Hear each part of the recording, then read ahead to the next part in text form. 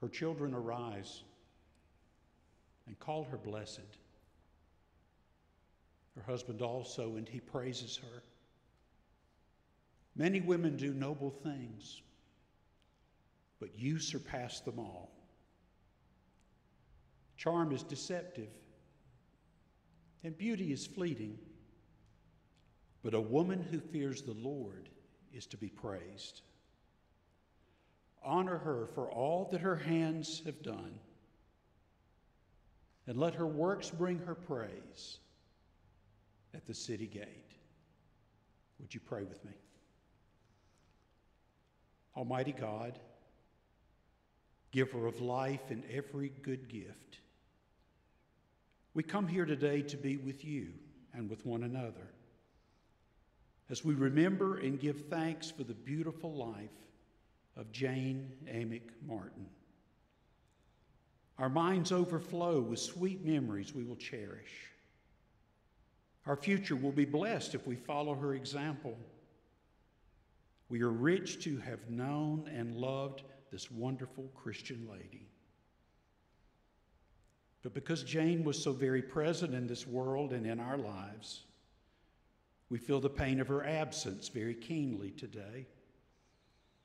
We need the comfort you alone can give. So we ask that you will use this service, the strong circle of this family, the presence of these caring friends, the promises of your word, and the ministry of your Holy Spirit to speak peace to the troubled places of our souls. Lord, take us by the hand and lead us through this service and this season of our lives. Take us by the hand as you did Jane when you led her home. Amen.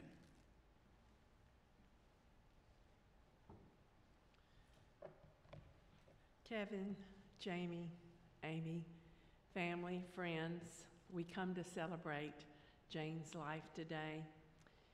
I want to tell you a little bit about what, what I had a friend in Jane, what, what I saw in her. She was a gracious host many times to me.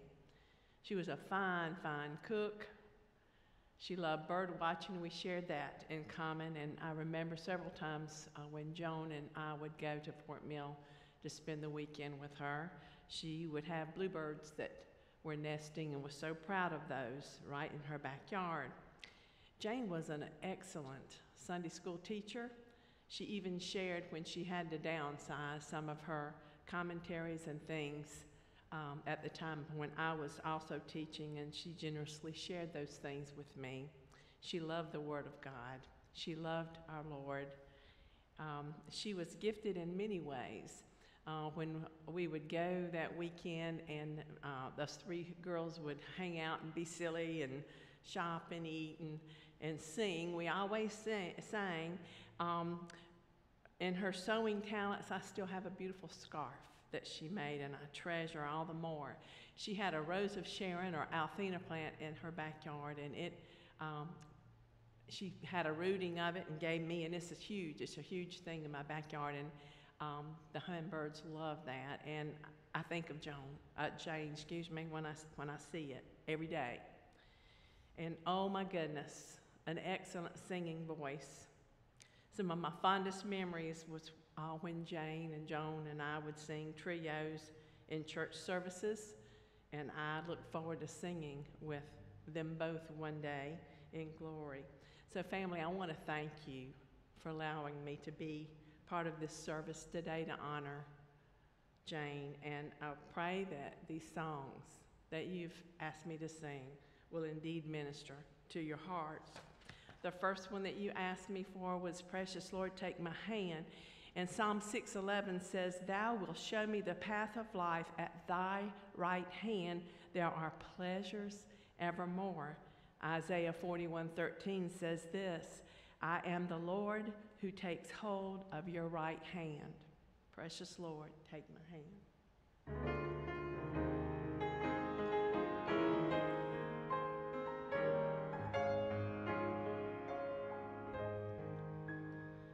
Precious Lord, take my hand, lead me on, help me stand. I am tired,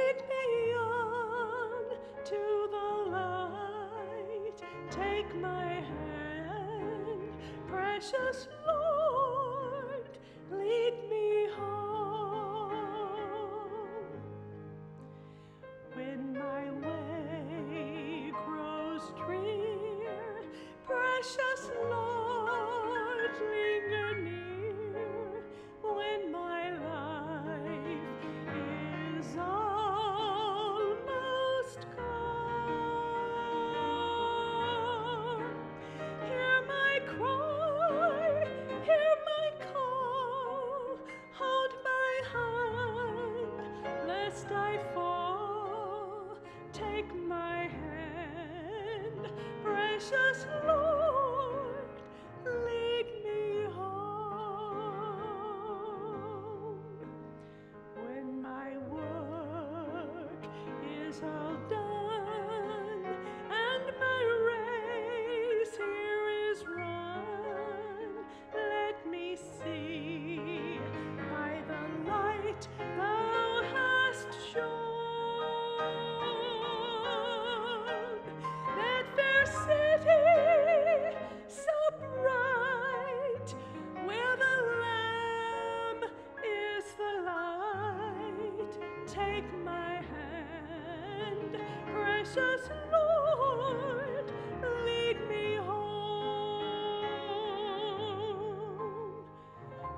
When the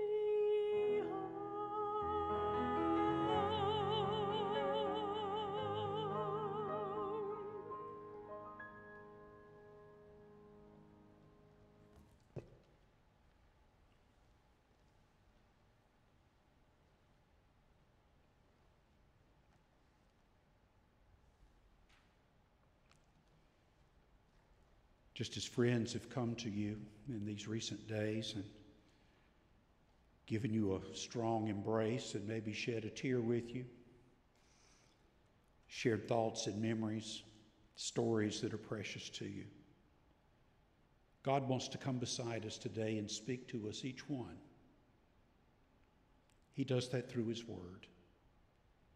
So, hear these passages from different corners of God's Word that I think each have a message from His heart to yours as we remember Jane today. I am suffering, but I am not ashamed because I know Him and I have put my trust in Him. And I am fully certain that He has the ability to protect what I have placed in His care until that day. Let not your heart be troubled. You believe in God. Believe also in me. In my Father's house are many mansions. If it were not so, I would have told you. I go to prepare a place for you. And if I go and prepare a place for you, I will come again and receive you unto myself, that where I am, there you may be also. He will wipe every tear from their eyes. There will be no more death, or mourning, or crying, or pain. For the old order of things has passed away. Never again will they hunger. Never again will they thirst. The sun will not beat upon them, nor any scorching heat, for the Lamb at the center of the throne will be their shepherd. He will lead them to springs of living water, and God will wipe away every tear from their eyes. May God's promises give us, as they gave Jane, the calm assurance that it is well with my soul.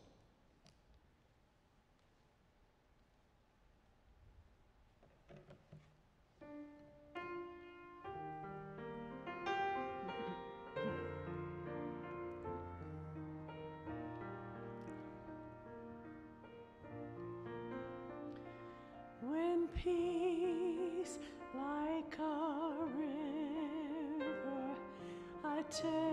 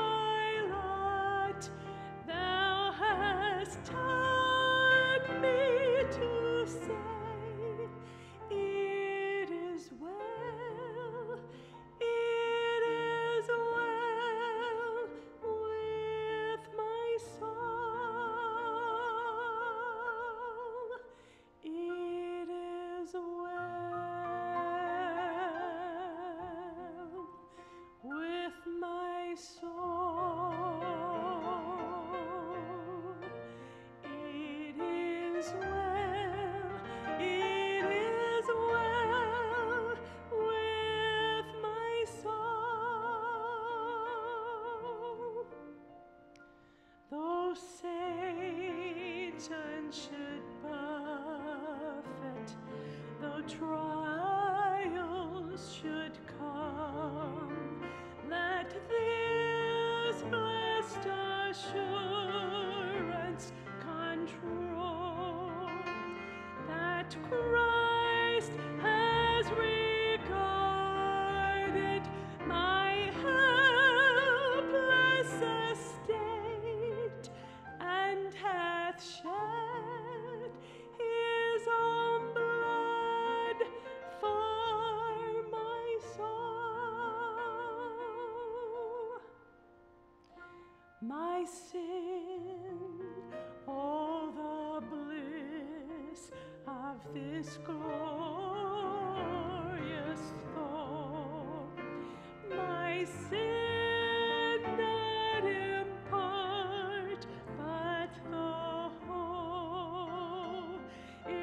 is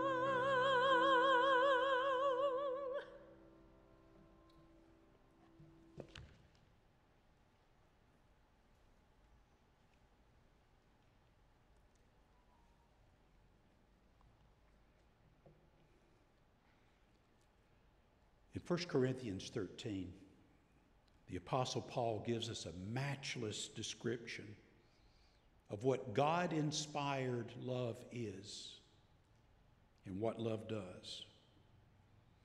In verses 7 and 8 of that passage, he talks about the ways that love goes on no matter what. J.B. Phillips helps us experience the power of Paul's inspired words in his translation of that portion that reads Love knows no limit to its endurance, no end to its trust, no fading of its hope. It can outlast anything. It is, in fact, the one thing that still stands when all else has fallen. Jane Martin's life is a testimony to the power of love and how it goes on no matter what. Jane entered this world in a special bond of love. Jane was born an identical twin. She and Joan were born only five minutes apart. I was curious and had to research this and found that only one birth out of about 250 produces identical twins. The bond Jane and Joan shared was not only rare, but it was very special. We've only begun to understand the bond that twins share throughout their lives.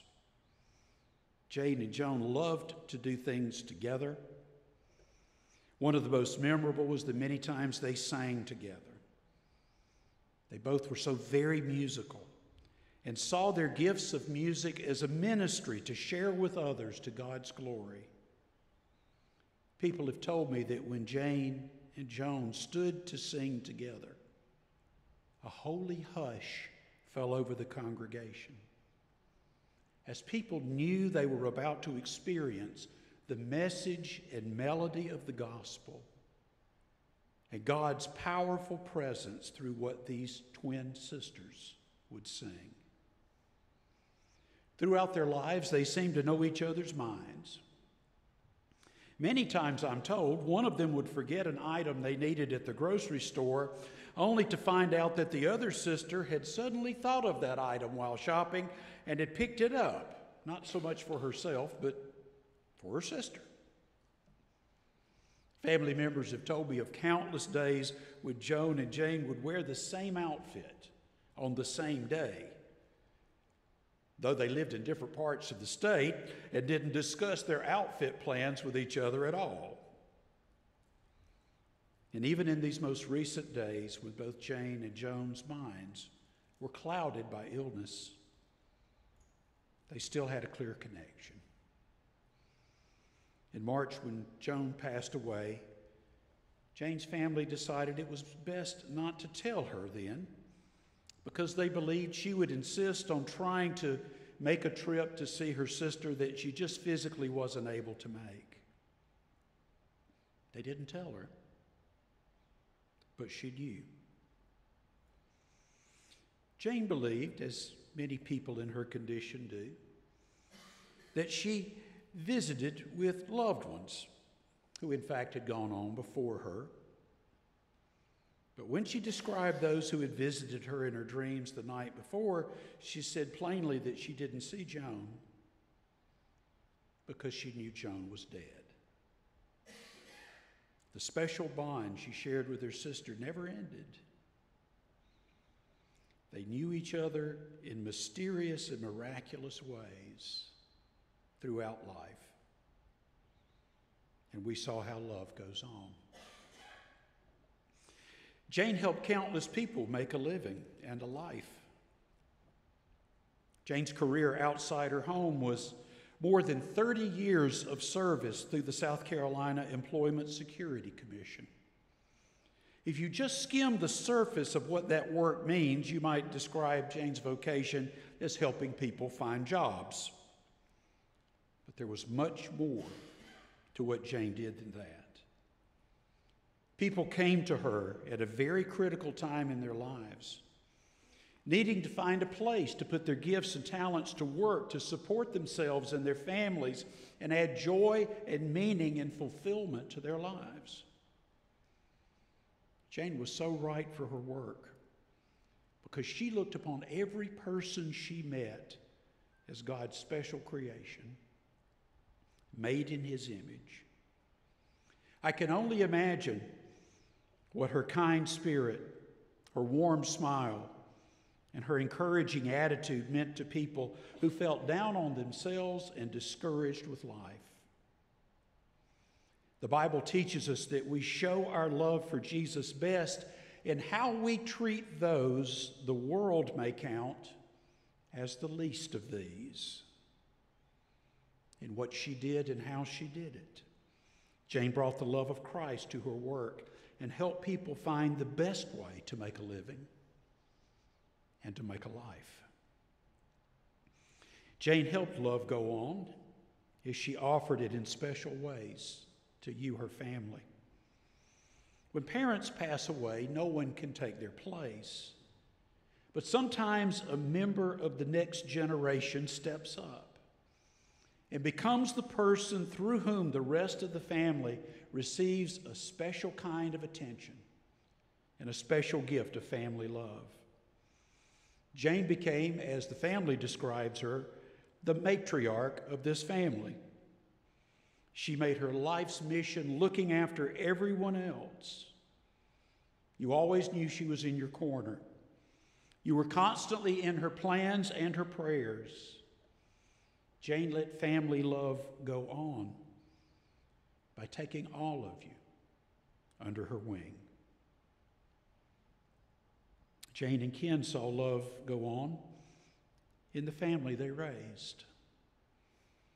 Jane and Ken met, fell in love, and began the journey of marriage together. Sadly, they encountered some problems that ended that marriage after 16 years. But in ways that blessed everyone involved, they allowed love to continue to do its work. Ken, you cared for Jane throughout her life and achieved a friendship with her that allowed you to support each other. That love was seen most clearly in the way you and Jane worked together to give your children the best life possible.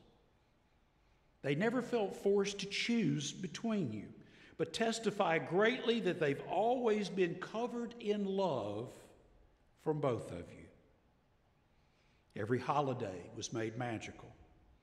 Every day they felt the strength and security of a mom and dad who, despite past problems, made a way for love to flow freely into their children's lives. Kevin and Jamie and Amy are proud of the way you and Jane allowed love to go on. And what she gave to her children, she gave in even greater measure to her grandchildren. I'm one of those who's learned that the title of grandparent is the best promotion you'll ever get. Blake and Laney Grace, you were the apple of your nanny's eye.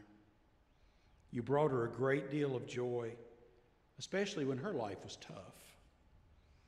Though you'll miss your nanny's loving words, sweet smile, and warm hugs, You'll never be without her blessing. You can carry that blessing and the strength it can give you through the rest of your lives. Most important and most precious to us today, love goes on, is Jane's destiny in Christ. The love we find in Jesus Christ is so great, so powerful that not even death can take it away. Paul says, Nothing can separate us from the love of Christ. Jesus said, No one can take them out of my Father's hand. God said through the prophet, I have loved you with an everlasting love. Jane belonged to Jesus. That was her testimony and the witness of the life she lived. So now, when illness has done its worst, we know that God has done his very best. He's taken Jane home. She is whole. Her thoughts are clear. She has seen Jesus, and he has wiped every tear from her eyes. That is Jane's destiny. It has been since the moment she received Christ as her Lord and Savior. We can share that destiny if we too belong to Jesus. For those who trust Him, His love goes on forever.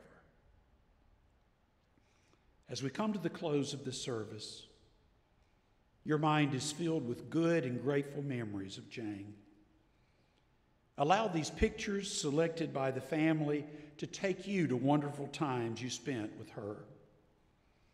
Then let the message of a song open your eyes to the victory Jane has now experienced as God's amazing grace has seen her through. Let her home and set her free.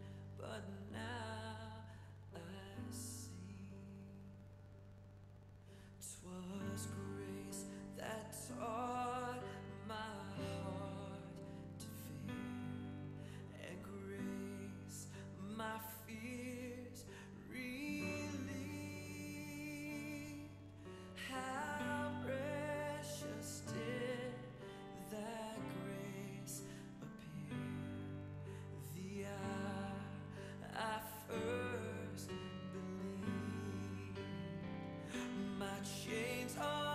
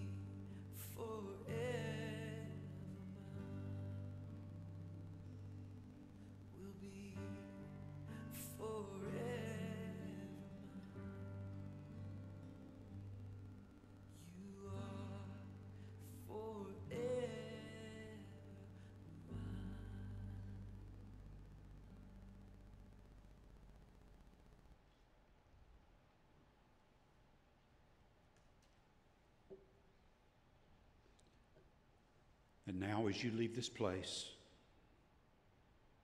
may you know the love of Christ that will never let you go, but will see you through, set you free, and lead you home.